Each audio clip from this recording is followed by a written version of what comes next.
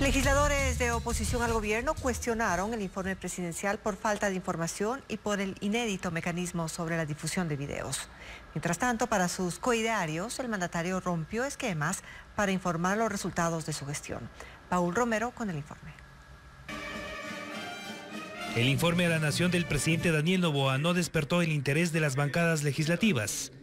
Los legisladores del correísmo, principales opositores del gobierno, no asistieron al Parlamento.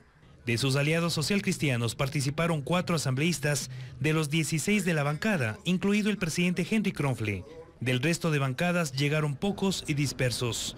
El discurso del presidente fue cuestionado por los legisladores de oposición. Jorge Peñafiel de Construye dijo que Novoa no presentó un informe con resultados de los seis meses de gestión. Faltó cifras y datos del manejo de las áreas estratégicas del Estado, seguridad, bienestar social, salud, educación. El presidente de la República vino a la Asamblea Nacional a una sesión solemne a presentarnos videos no a dar lo que dice la Constitución, a, cumplir con lo que dice la Constitución y la ley. Nosotros vemos con mucha preocupación datos que no cuadran con la realidad. Eh, los datos de empleo, por ejemplo. El desempleo está eh, creciente en el país. La legisladora de Pachacutic, María Yumbay, coincidió con esta posición. En los 27 minutos del informe del mandatario, divagó en expresiones poco convincentes de la realidad nacional, según la legisladora. Yo creo que difiere muchísimo de lo que estamos viviendo en el país. La inseguridad continúa, continúa habiendo asesinatos, secuestros en todo el país.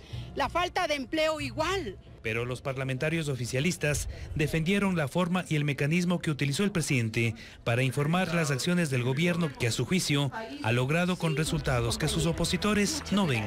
En solo seis meses hemos hecho lo que otros gobiernos no lograron hacer en años, a pesar del déficit fiscal que encontramos eh, al asumir el gobierno. Sin embargo, no es momento de excusas, sino de encontrar soluciones. Los asambleístas del gobierno restaron importancia a la ausencia de la mayoría de legisladores al informe de la Nación. Sin embargo, pidieron que se sumen a la tesis del gobierno para buscar consensos y aprobar las leyes que provienen de la consulta popular, textos que deben tramitar en 45 días.